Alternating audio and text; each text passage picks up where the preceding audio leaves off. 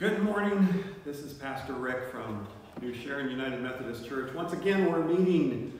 Well, we're alone here, and we're in our sanctuary.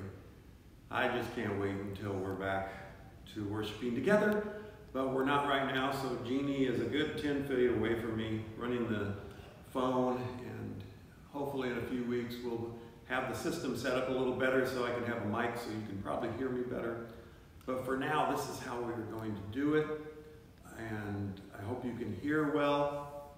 If you can't, well, I'll try to talk louder. But then Jeannie has to close her ear, hold her ears. So, but good morning. We're glad to be here this morning with you, and we're celebrating today. Um, this is a day that the Lord has made. Let us rejoice and be glad in it. We're meeting well, we're at home, we're at different places. Jeannie and I are here in the sanctuary. It's really windy outside, but this is a time where we can come and fellowship together, even though we're in our homes and in different places. One thing I would like to ask you is to practice safety with our health, and um, that means washing our hands, uh, staying a good six feet away from each other, don't go anywhere you don't have to go. This is a time where we want to get rid of this virus and not let it take over as it has. We just, Debbie and I just came home from Colorado yesterday and the interstates, Interstate 70 and Interstate 80.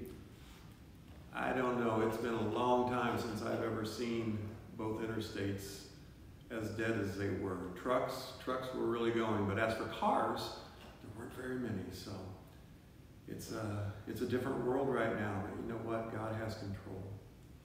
And he knows exactly what's going on. And the best thing is, is he knows our hearts. And we can go to him. So let's begin here today with a prayer, and then we'll go to our scripture.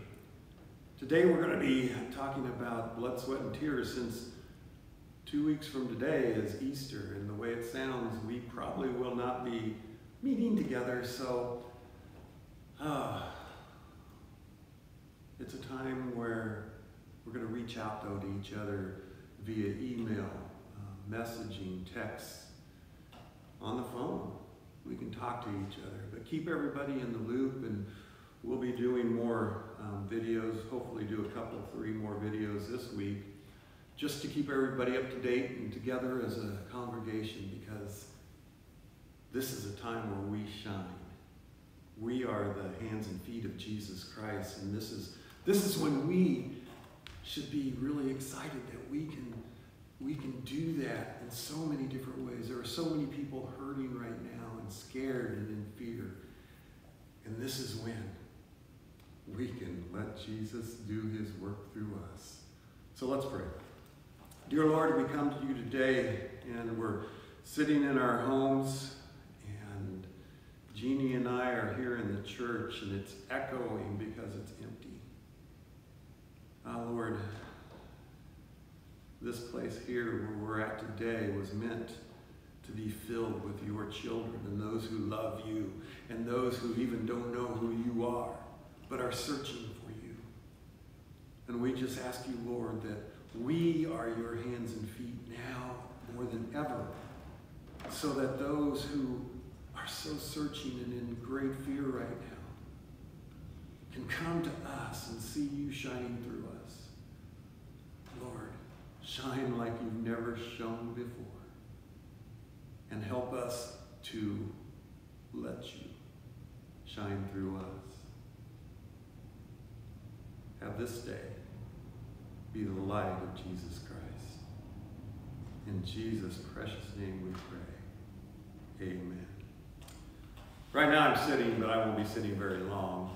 But um, we're, we're in here and it's, it's quiet and it's windy outside and you can just hear the roof creaking every once in a while and, and it's just kind of kind of strange. But uh, every once if I happen to look up and um, at some time it's because the wind just gusted and the roof is creaking. But so today this is um, the 29th of March Easter's the 12th of April. And so today we're going to be looking at the blood, sweat, and tears of Jesus Christ. I'm making Jeannie nervous now because um, she thinks I'm going to stand up, which I am. But uh, first I'll read the scripture and, and then I'll get up. But oh, yeah, in two weeks it's Easter Sunday, the day that Jesus Christ is alive. And more, boy, do we need that more than ever right now. Jesus Christ is alive. Never ever forget that. He knows exactly what we're going through. So, so the first um, Bible reading today, our first scripture from the Old Testament is Psalm 6. So let us let us hear the word of God. Lord, do not rebuke me in your anger or discipline me in your wrath. Have mercy on me, Lord, for I am faint. Heal me, Lord, for my bones are in agony. My soul is in deep anguish. How long, Lord? How long? Turn, Lord, and deliver me. Save me because of your unfailing love. Among the dead, no one proclaims your name. Who praises you from the grave? I am worn out from my groaning. All night long I flood my bed with weeping and drench my couch with tears. My eyes grow weak with sorrow. They fail because of all my foes. Away from me, all you who do evil. For the Lord has heard my weeping. The Lord has heard my cry for mercy. The Lord accepts my prayer. All my enemies will be overwhelmed with shame and anguish. They will turn back and suddenly be put to shame. Oh.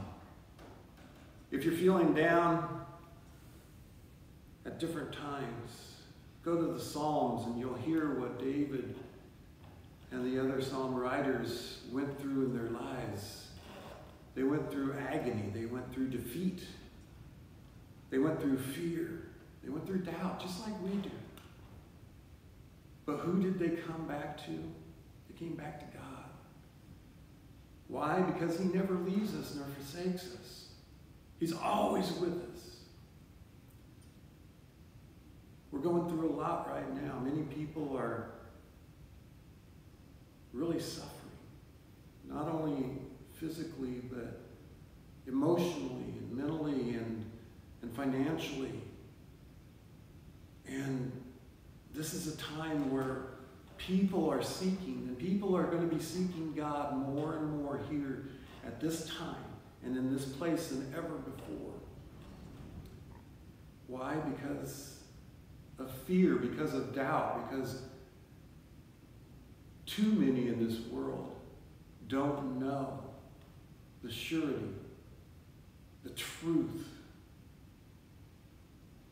the sovereignty of God and through Jesus Christ what he has given us.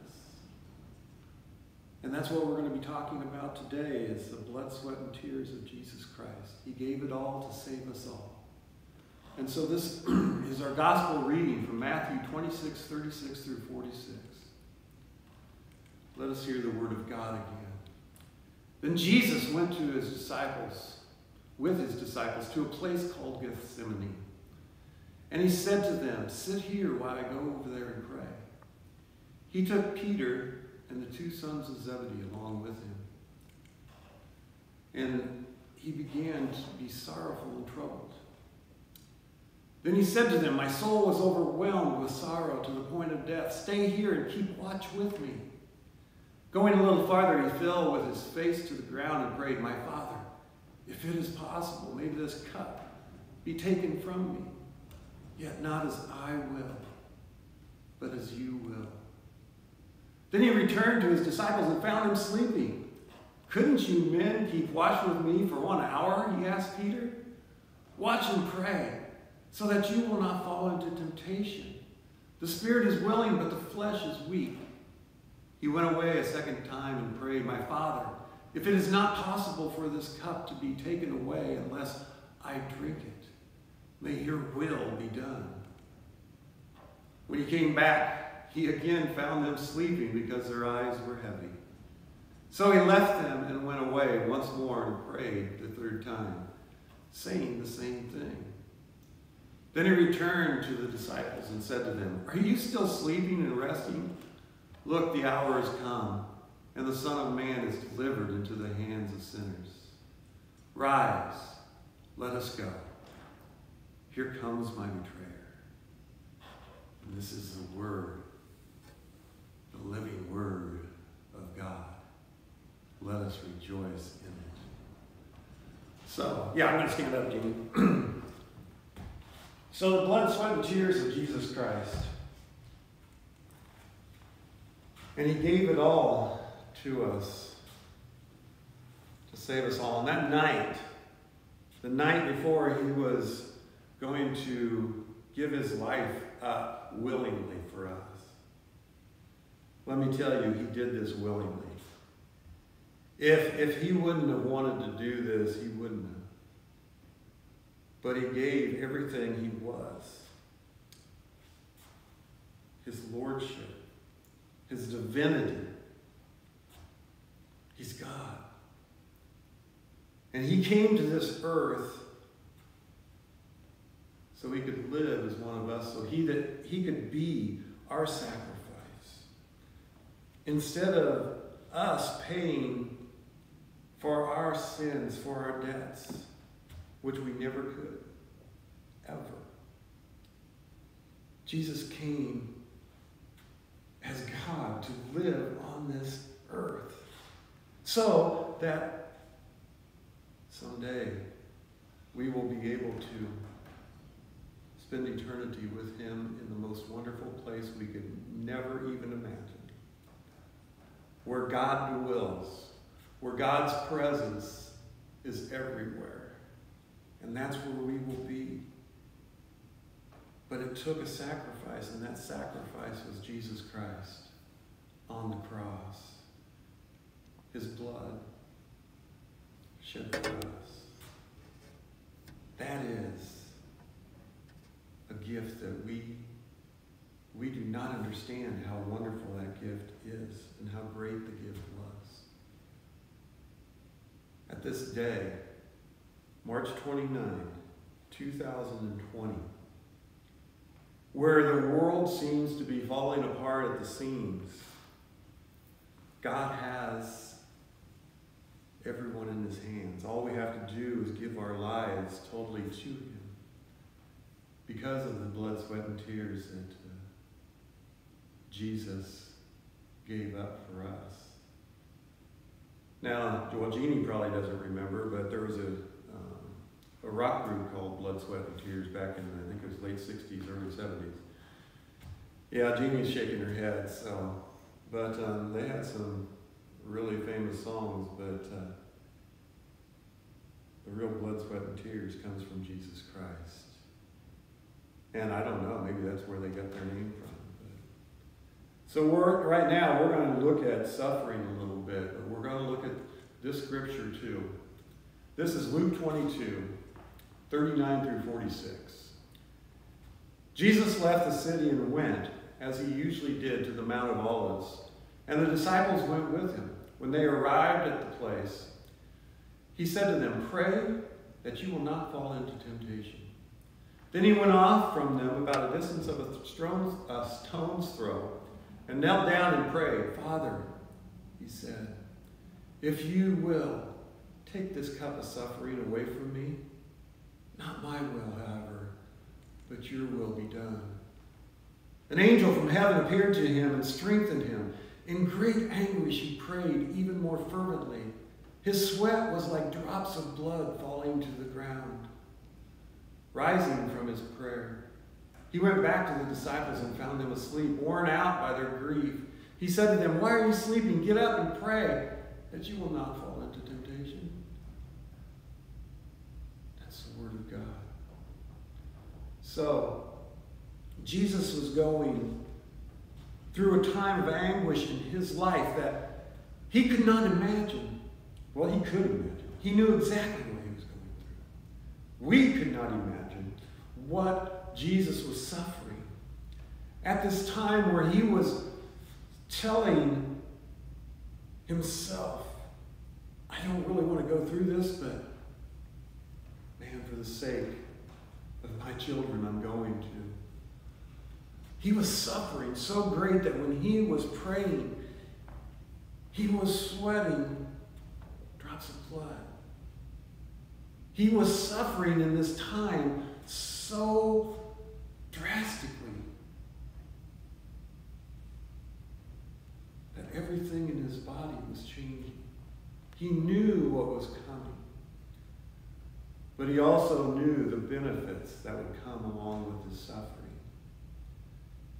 Benefits of suffering. And you can talk about a lot of people right now who are going through suffering. And let me tell you,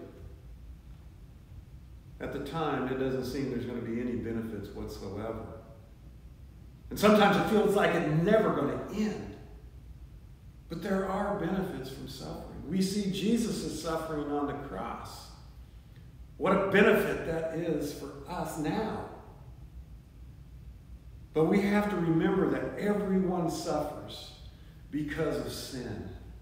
You know, I've, I've heard this so much over the last few weeks since um, this COVID 19 thing has been going on. And I've read it and I've heard it, I've seen it in different places. It's why would God allow such a thing to happen?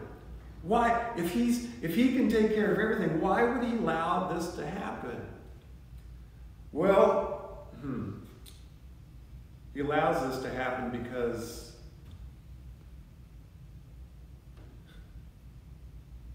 we think we're in control. We, as human beings, have fallen. Sin came into this world. God didn't put the sin here. We ourselves put the sin into this world. Sin is what causes suffering. Sin is what causes the diseases and all of the things that are catastrophic to this world to happen. It's sin that has caused this. We are suffering because of sin that came from Adam and Eve. Why? It came from Adam and Eve because the devil tempted them.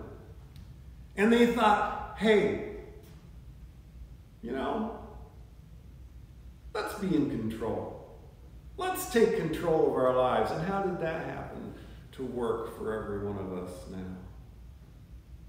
God weeps when he sees what is going on in this world.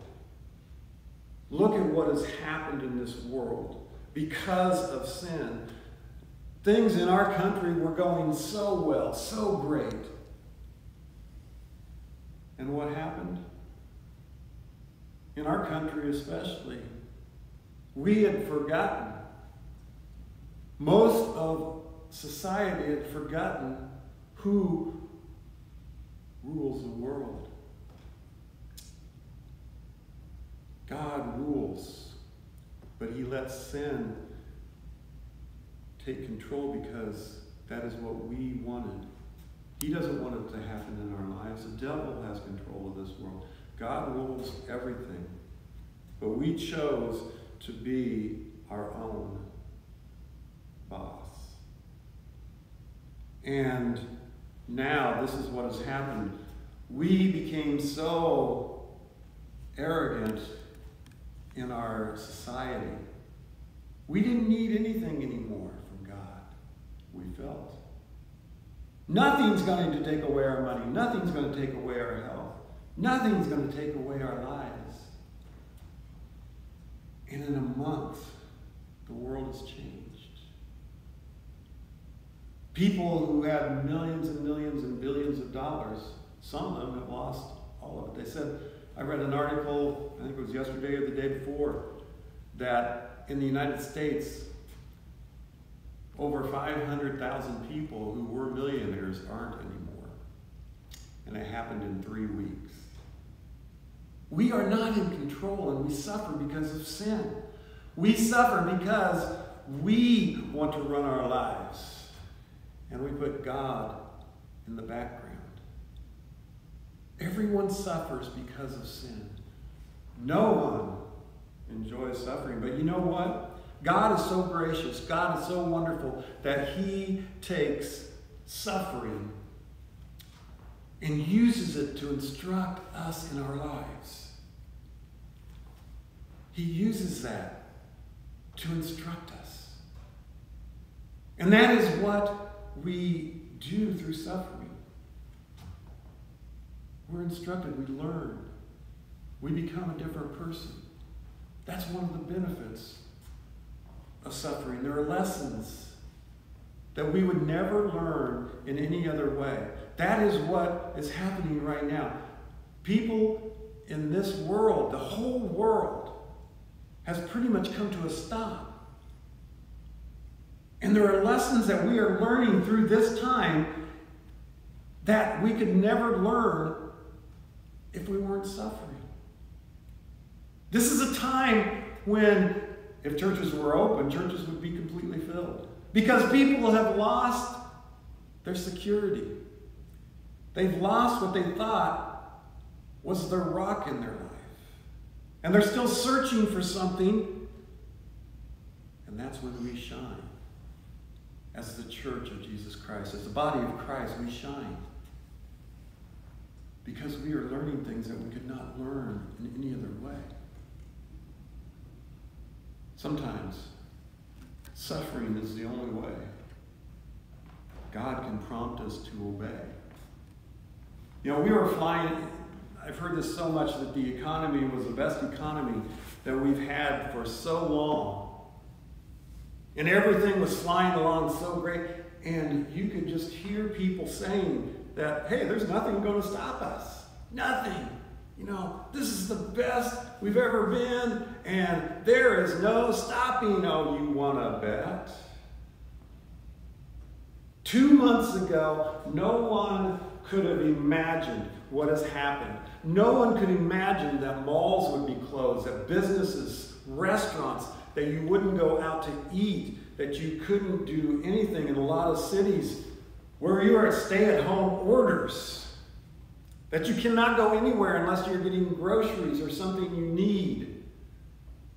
Two months ago, we couldn't imagine that. And now we're living it. We were in the best. We were the best. And now, where are we? It's not the fault of God, it's our fault the arrogance of us thinking that nothing is going to take place that could ever destroy us. 2020 was going to be the best year ever for most businesses and most people. Wealth was growing like crazy. Most people were richer than they'd ever been in their lives, but there were people who were poorer than they'd ever been in their lives, too. And did we care? Or did we care about ourselves? in two months. We are now sitting in our homes, watching television, playing games, not going anywhere. Things change so quickly. Most of us would not have wanted this to happen, but we have no power to stop it. Who's in control? God is in control. But He also lets us dig our own holes many times. And then He takes what has happened in our lives, He takes that and uses that to obey Him. So we come back to Him, even though it's our own fault. He still draws us back to Him. What has happened isn't God's fault, it's because of sin. It's because of the arrogance that we have had. And now, so many who had left God are coming back. Because they realize that the only thing that will never change is Jesus Christ. God on earth, God incarnate, Emmanuel, the Messiah. He never changes. Suffering may also strip away distractions that hinder us from the deeper relationship with Jesus Christ. Right during this time, He's taking away all of the things that have drawn us away from Him. He takes that. He takes money. He takes the things. He takes our jobs. He takes our who we are, and it's gone. We have nothing left. So what happens? We become closer and closer to Jesus Christ through this time. So the responses to suffering, as long as we remain on this earth, there will be pain and trouble. As long as we remain here on this earth, there will be pain. And there will be trouble. We all know that. Whoever's lived has had trouble. In times of suffering, lots of times it's tough to pray when we're suffering especially when the time where we think it's never going to end. But we need to pray. But that's when lots of times we struggle with prayer. But when you struggle with prayer, pray, Lord, I can't pray right now. Help me. Give me the power to pray, Lord. I need you. And different from Jesus Christ struggles, Ours often involve unwillingness to obey God. Jesus Christ willingly obeyed God. Not my will, but your will be done. But during this time, our response is so important. We need to obey God's will for our lives. Say, Yes, Lord. Yes, Lord. Your will be done. Not my will, but your will be done. We can't we can't escape the pain. We can't expect or escape the adversity. But we can choose how to respond to it. We can choose how to respond to the adversity that is going on in this world right now. And we take that, we take that adversity and we let Christ shine through us, even though we're hurting too. We pray, Lord, not my will, but your will be done. We yield to his will. We give up ours to His. And He will give us the grace to endure through times of struggle and pain and times where we think, can we go on? And He will give us the grace and the strength to grow into Christ likeness, into the image of Jesus Christ. We are to be growing into the likeness of Jesus Christ. So, in Matthew 26, 37, what, what was happening at that moment? What was happening? So began in this uh, scripture, Matthew 26, 37. Began means that Jesus saw something while he was praying, something he hadn't experienced until that point. When Jesus was praying, it was something he, he saw something that made him sweat so hard that he sweat blood. Now, the word translated sorrowful is a very, very strong Greek word. It actually means horrified. Horrified.